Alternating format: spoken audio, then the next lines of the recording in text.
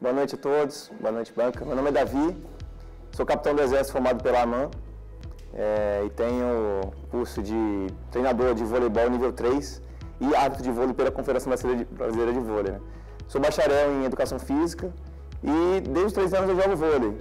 Né? Joguei em alto rendimento, fui convocado para a Seleção Brasileira das Forças Armadas em 2010 e é, como jogador de vôlei é, eu identifiquei que se tem algo que frustra completamente um jogador, desde um peladeiro até um jogador de alto nível, é ele não conseguir jogar quando ele marca ou quando ele quer. Eu quero jogar hoje, não conseguir por algum motivo é extremamente frustrante.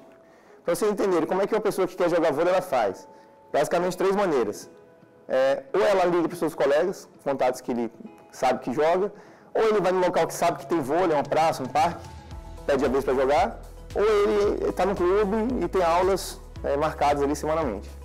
Para todas as situações tem vários problemas. Por exemplo, nem todo mundo está disponível quando você quer jogar, quando você liga. É, nem todo mundo tem bola, tem rede, tem material, nem todo mundo sabe onde tem uma quadra.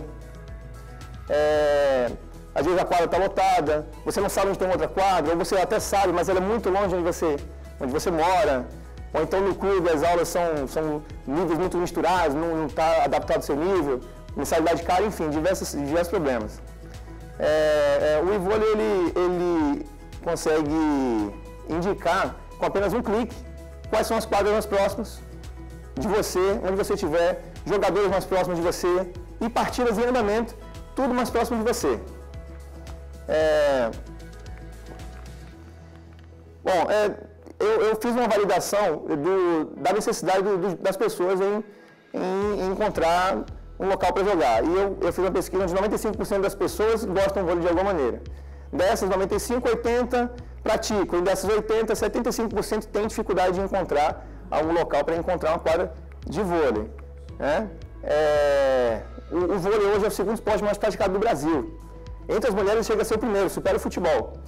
Né? E, e aquelas pessoas que de repente querem uma, uma melhoria, querem um local mais estruturado, um lugar coberto, que já tem a estrutura e material, ela pode também é, é, alugar quadras por meio dos nossos parceiros, diversos parceiros que a gente é, faz, que são estabelecimentos como é, clubes, escolas, universidades, associações diversas que têm uma quadra, pode ser um sócio sem custo nenhum, nem mensalidade, nem taxa de adesão.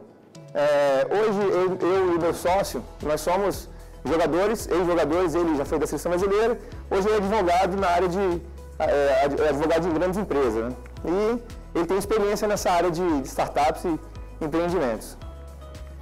É, bom, é... desculpa. Então, é assim, o, o vôlei ele vem para fazer quem quer jogar vôlei jogar realmente da maneira como ela quer.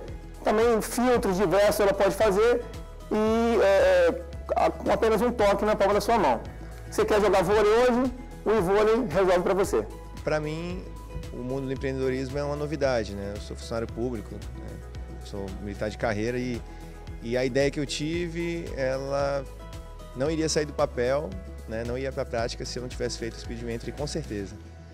As ideias que, que eu recebi, né? as informações, toda, toda a sistemática né? de como a gente proceder, ainda mais uma startup, né? É, foram claramente passadas para mim e lições valiosas eu peguei anotando nas, nas, conversas, pegando os slides e já praticando antes mesmo de terminar o curso. O Speed ele é um programa mais voltado para os projetos que estão numa fase muito inicial. A gente fala muito da parte de problema-solução.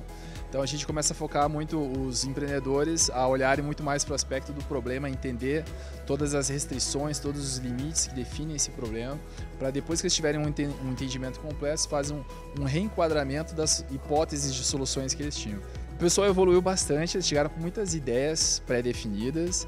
Uh, a gente percebeu que eles evoluíram porque eles começaram a mudar a proposta de valor do negócio deles ao longo do processo.